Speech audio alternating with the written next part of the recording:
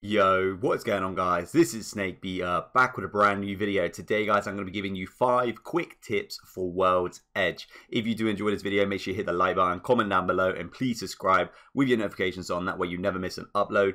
For 2021, we're going to try our very best to see if we can hit 1k subs. A massive goal. I need all the support I can get. So if you do enjoy the content, please hit that subscribe button. It means the world to me. Apart from that, guys, let's jump straight into the video. So the first tip I'm going to give you for World's Edge is pick a legend who you can reposition with. Okay, so you need a legend for the team who can reposition.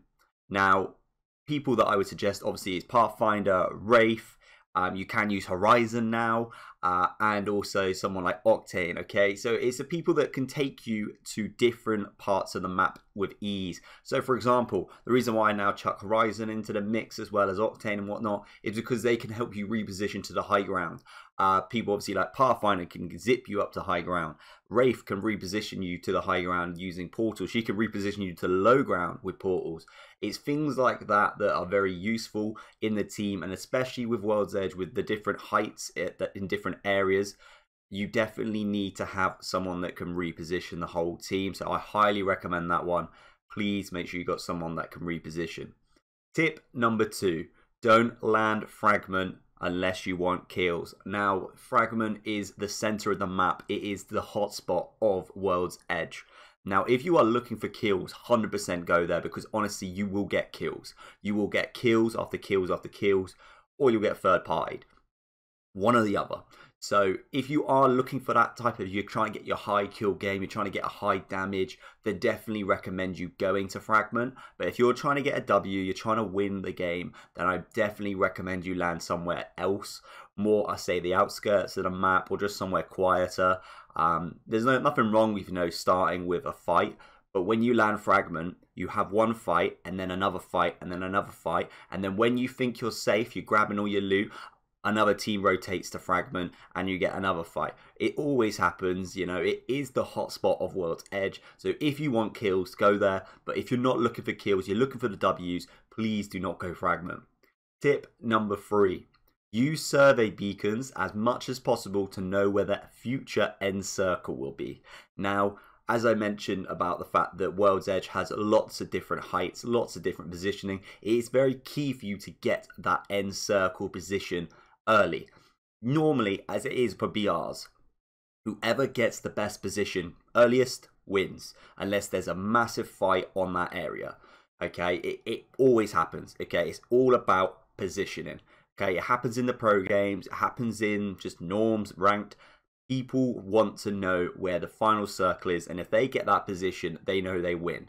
So, honestly, I would recommend you using the survey beacons as much as possible. Of course, you can use Pathfinder, Bloodhound, and Crypto. Those are the three legends that can use them. Highly recommend doing it. Pathfinder is definitely the best because of the fact that he gets his ultimate cooldown by using them. So I obviously always recommend using Pathy. But if you've got someone in your team that runs Bloodhound, they can do it.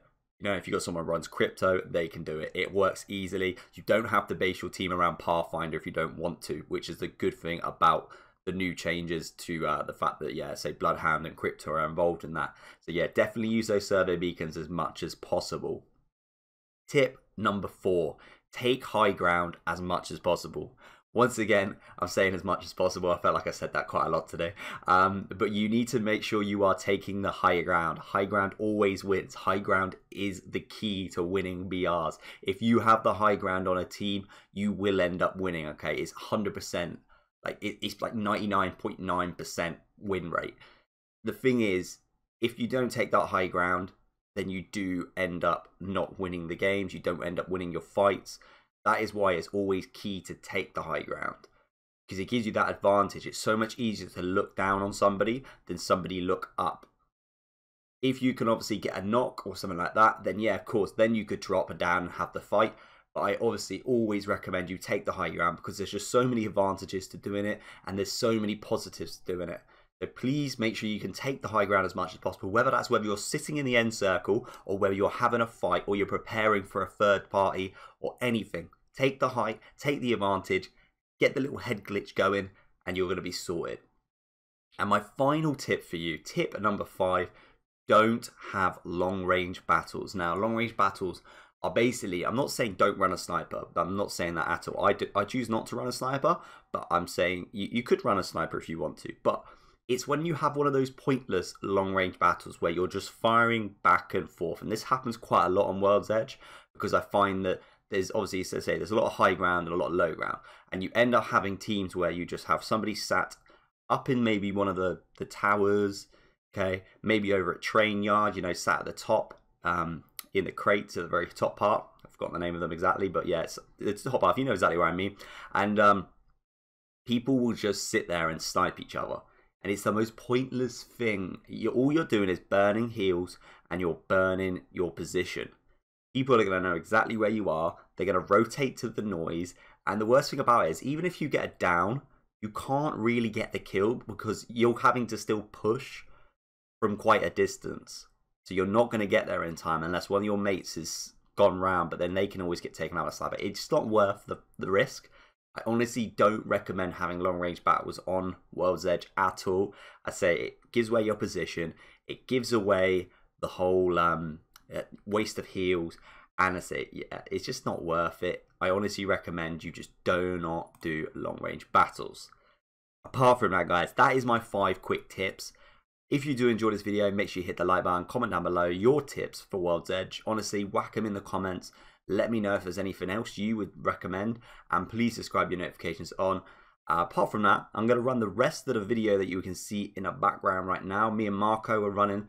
Um, I'm just going to let it play out because, you know, there's quite a few good kills on there. But I hope you enjoy, and I'll see you in the next video. Oh, it's already committed. Almost no shields? They're committed, they're committed. They're fucking baiting. Resi. Yeah, burn light in the door there. He's kicking hard. Down. Numpty right here. Scanning the area. One shot, nice. Enemy They're taken coming out. back. There's another squad attacking. There's a Wattson at him. Trying to Yeah. we just ran them down. Good job. That's what I Yeah, take some breaks, figure stuff out. Yeah, I need for sure. I think I took a very long break. You are the In my Apex opinion. champions.